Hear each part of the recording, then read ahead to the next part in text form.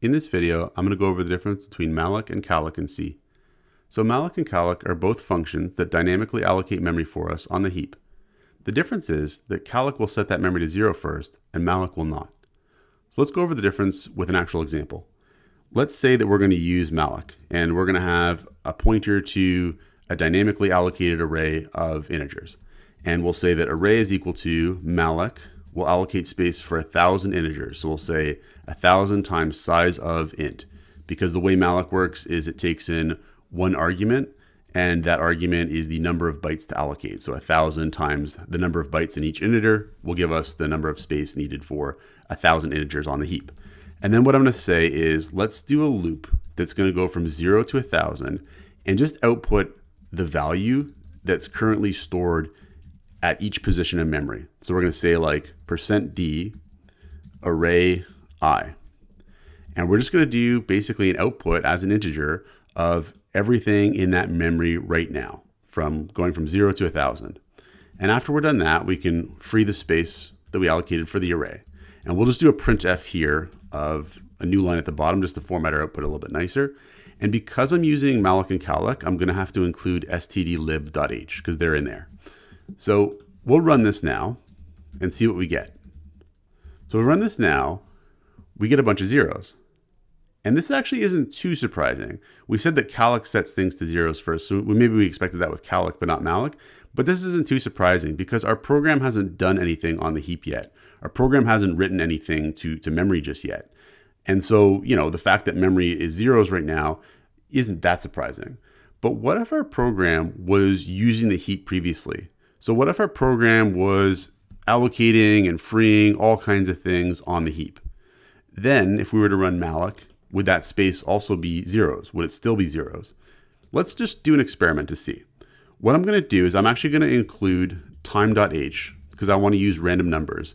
And I'm going to seed the random number generator before I start using it. And what I'm going to do is I'm going to actually allocate a thousand times a bunch of random, randomly sized things on the heap. So I'm going to say for int i is equal to zero, i is less than a thousand. What I'm going to do is I'm going to have a size. So I'm going to say int size is equal to zero, and I'm going to say int star junk, and this is going to be a pointer that I'm going to use for each one of these things I dynamically allocate. And what I'm going to do is I'm just going to randomly determine a size with which to allocate space for on the heap. So rand is going to return a big random integer, and modulus 16,000 is going to take it and do a division and return the remainder. So this is going to be some big integer, and we're going to say, what is the remainder of that big integer if you do a modulus operator, and, and you get the remainder after dividing by 16,000. And so this is going to give us basically some random large integer between 0 and 16,000. Then I'm going to allocate space on the heap for that random thing. So I'm going to say junk is equal to malloc, and I'm going to say size times size of int. So this just gave me like a random number to allocate space for. Now I'm saying go get me space on the heap with that random size for a bunch of random integers. And what I'm going to do is I'm going to populate that space on the heap with a bunch of junk data. I'm just going to stick like completely random integers in there. And then we'll just fill the heap with junk data like that. So I'm going to say junk j is equal to rand. And then I'm going to say free junk here. So this here, what it's doing is it's going over that space that we allocated on the heap that has a given size that we randomly generated. And we're saying from zero until that size, take every, you know, element in that ran randomly allocated array, that, ran that dynamically allocated array, and fill it with some junk data. And then we'll free it. And we do this a thousand times. So we're going to completely fill a heap with all kinds of junk data, basically. So now if I run this here, and we'll do a clear, and we'll run it again, we'll compile it again, we'll run it again. What I'm going to get is that now my malloc here that allocated the space for the array, when I go to print it out, there's all kinds of random junk in there. And this could be a problem because if we allocate space for, you know, something we, we need to uh, work with in our program on the heap, and we don't know what's in that space, we might be performing operations with that data not realizing that it's not initialized to zero or it's not what we think it might be. And so this is a bit of a problem with using malloc. As long as we're aware of it, perhaps it's not a problem, but we definitely need to be aware of it. Now with calloc, what it's going to do is it's going to set this data to zero for us. So calloc works slightly differently in terms of how it's called. You just say calloc. And with calloc, there's actually two arguments. The first argument is going to be sort of like the count or the, the number of things to allocate space for. And then the second argument is the size of each one of those things. So you say like a thousand, and then we need space for a thousand integers. So it'd be like a thousand is the number of things we need space for, the count of things we need space for, and size of integer is the size of each one of those things, because in this case, it's integers that we want. And so with calloc, what's going to happen now, I'll do a clear and we'll recompile here. With calloc, what's going to happen is it's going to set that space to zero for us. And that's excellent because now we've we've now got space that we've can guarantee is already set to zero for us. Now the only thing is that calloc comes at a bit of a cost. Calloc does have to actually set that space to zero. And that does take non-trivial time to do that. So let's actually do an experiment. Let's do a bit of a bit of a performance test here. And let's compare the performance of malloc and calloc. And so what I'm going to do is I'm going to have this clock type here, and I'm going to have tick and talk.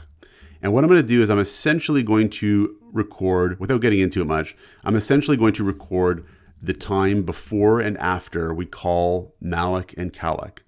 And I'm going to do a subtraction of the, the uh, before time from the after time to determine how long it took to run each function. And we'll do a performance test. So I'm going to say here tick is equal to clock, to sort of record the before time. Then I'm going to say array is equal to malloc, and we're going to allocate space for, let's say, like a million integers. So like a lot of integers here. And then I'm going to say talk is equal to clock, which essentially records the after time. And then I'm going to do a printf, and I'm going to say printf, and I'll say like malloc percent %f, and then I'll say s. And then what I'm going to do is I'm going to do double conversion talk minus tick divided by, and I'm going to divide it by clocks per second. So divide it by clocks per second. And then I'm going to free the array. And what this is doing is it's running malloc, and we're basically recording the before time and the after time. And then we're, we're subtracting the before time from the after time divided by clocks per second here. And that's going to give us the amount of time in seconds that it took to run the malloc function. And then we're going to do the same thing. I'm actually going to copy and paste. We're going to do the exact same thing with calloc. So we'll run calloc now, and we'll do a test of how long it takes to run calloc. And we'll just say calloc here instead. And I'll put a new line after these, just that way it looks a little bit nicer. So new lines after these, just to make it look a bit nicer. Okay, so we'll clear GCC output uh, just to compile it, and then we'll run it. And we get that calloc is taking way longer than malloc. So look at how much longer it takes. It's basically 100 times longer than malloc in terms of how long it takes, if you do a comparison here. And that's because what's happening is calloc is having to set a million places in memory to zero. And that's not free. That does take time.